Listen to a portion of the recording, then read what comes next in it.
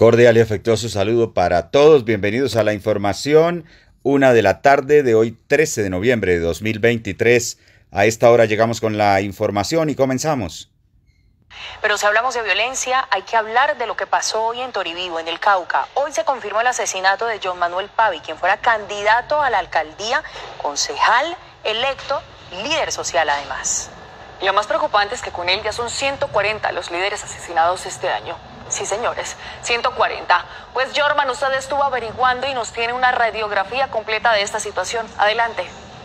Pues así es, antes de hablar de los líderes sociales asesinados en el país, hay que hablar de las masacres, pues este año ya llevamos 80 masacres en total. Y preocupa lo que está... 140 líderes sociales asesinados y 80 masacres solo este año.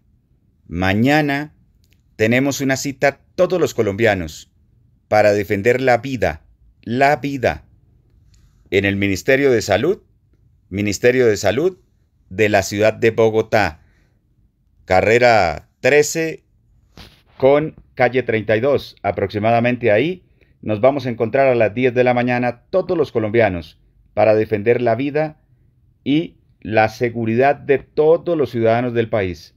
Vamos con la carta que le envió María Jimena Duzán a Gustavo Petro. Quiero que la oigan con atención y luego me escriban y les diga cómo les parece lo que ella le escribe. Una petrista de pura casta le escribe a Gustavo Petro y le hace una radiografía de lo que está pasando, lo que ella considera que está pasando en el país.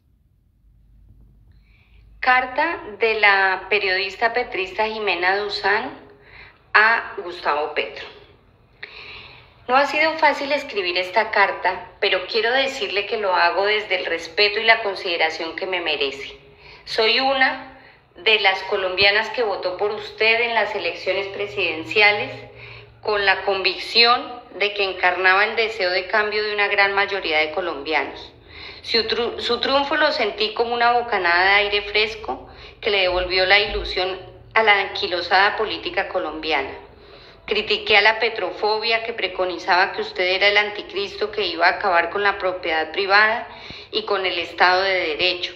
Y siempre consideré que su llegada al poder era un acto de madurez, porque por primera vez el sistema político le abría las puertas a un proyecto de izquierda sin matar a su candidato.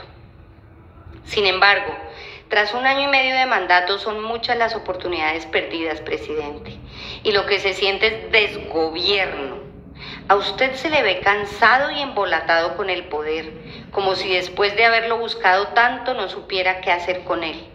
Hace unos meses en una entrevista para mi podcast usted me dio una explicación sobre por qué le estaba resultando tan difícil gobernar y sacar adelante su agenda de cambio. Eso me tomó por sorpresa. Yo no llegué al poder, me dijo muy convencido. Llegué fue al gobierno porque el poder, el verdadero poder lo tienen otros, los grupos económicos. La frase no revelaba nada que no sepamos. Que los grupos económicos han acumulado un poder desmedido lo viene diciendo el marxismo desde hace mucho tiempo. Sin embargo, decir que usted es un presidente sin poder es una premisa fantasiosa y falsa.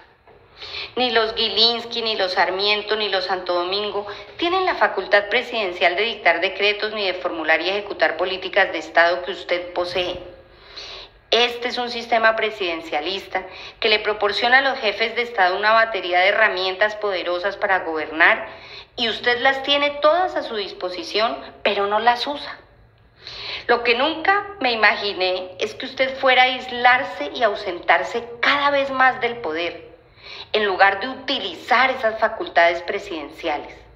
Es como si a usted, señor presidente, le pesara su destino.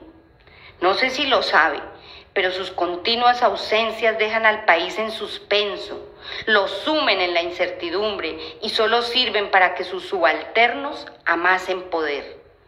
Gobiernen a su acomodo y le mientan al país, fabricando historias para justificar sus ausencias que ya nadie cree. Cuando desaparece, sabemos de usted de la manera más ríspida por sus trinos. Algunos de ellos razonables, otros delirantes, otros mal escritos, que llaman a la revancha y a la